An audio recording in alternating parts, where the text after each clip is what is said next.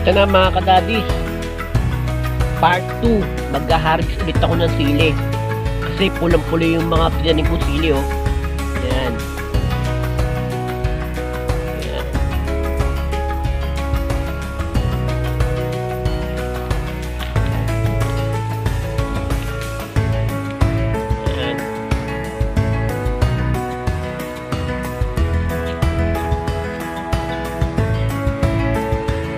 Mamaya pag uwi ko mamaya, kasi gusto ko to magtayos ko to lahat.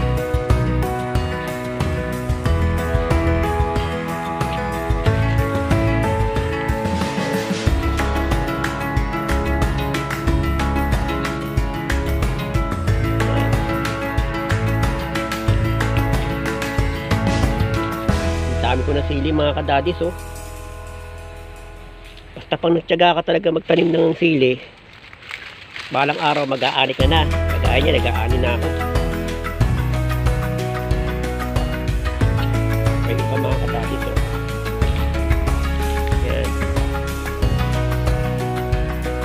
Yan. May iba mga, may iba.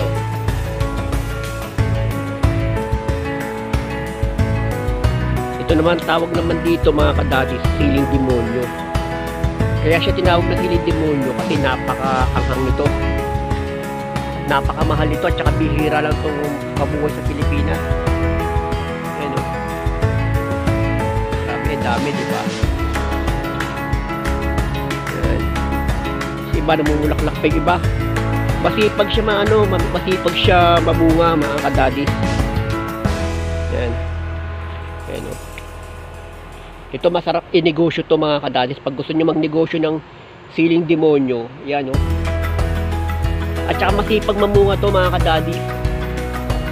Tsaka hindi siya, hindi siya sensitive sa sa weather natin. Yun nga lang, kaya bihira lang mamunga kasi kasi bihira, bihira lang makita yung ganitong bunga.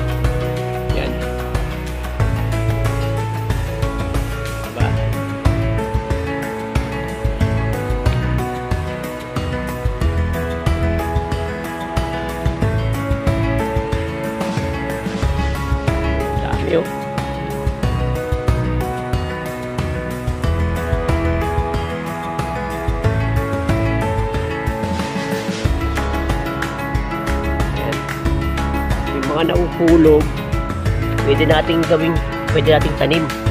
Yan. Yan. Pag magtatanim ulit tayo. Sayang eh.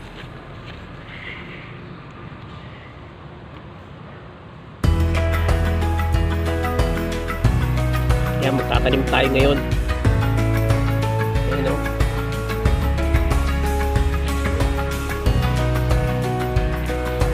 Ayan o.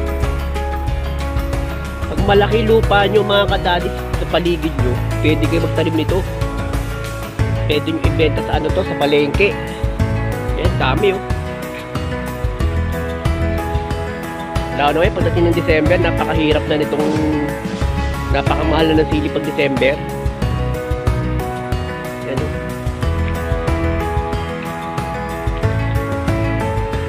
Para hanggang dito na lang.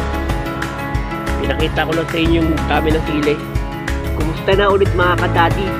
Ngayon, mag-harvest na ako ng sili. Tapos ilalagay ito sa suka ko na ginawa ko nung, nakaraan para dumami yung ano, yung sili niya. Umpisa ko na mga kadadis.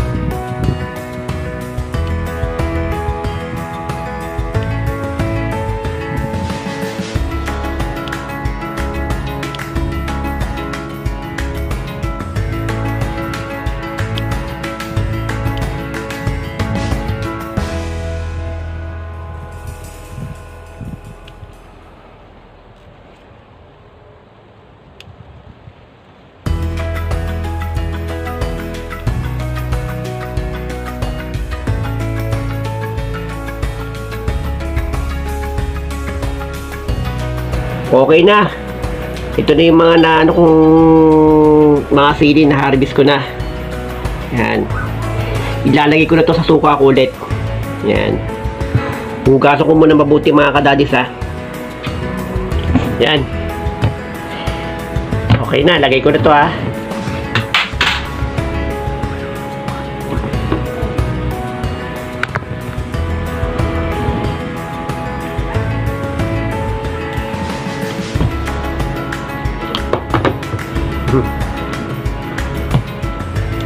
Yung maganda mga kadadis, pag nagtyaga kayo magtanim ng sili, pagdating ng araw, ma makapag ano na kayo, makakapag-ani na kayo.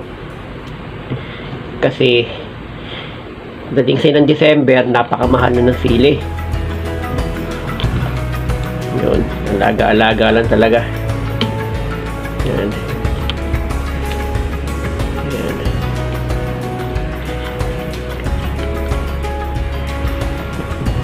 Maganda talaga.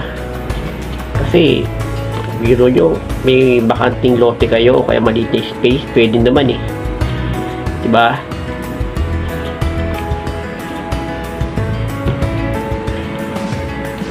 Sarap nito. Tapos, sasamahan natin ng ano, no? Ng chicharong bulakan, no? Yung, yung backpat. Tapos, pag nagsawa kayo, chicharong bulaklak, oh. Yan. Sabi. Masaya ako kasi nagkaroon na naman ako ng maraming harvest na sili ngayon. Meron pang mga kulay green doon. Hindi ko pa hindi ko na pinitas kasi hihinog pa yun eh. Yan. Kasi suka kong ginamit mga kadadis, eh, su purong ano to, purong sukang sukang sa yung paumong ba. Yan. Ginamihan ko na para pang ano na to, sausawan to hanggang December. Pagbibili ako ng mga uh, inihaw na na liempo. Yan na. Yan. Grabe, napakasarap nito. Pig. Dami ko ng sili. Naku. Yan.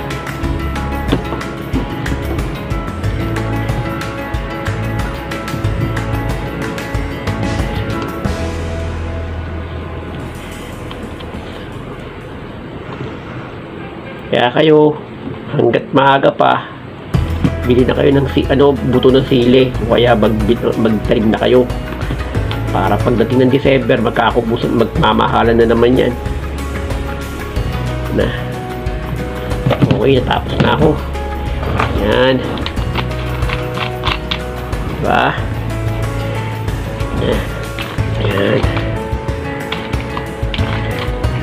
Hindi ko na tinipid kasi personal ano ko to da, mga ano eh, mga kadadis eh.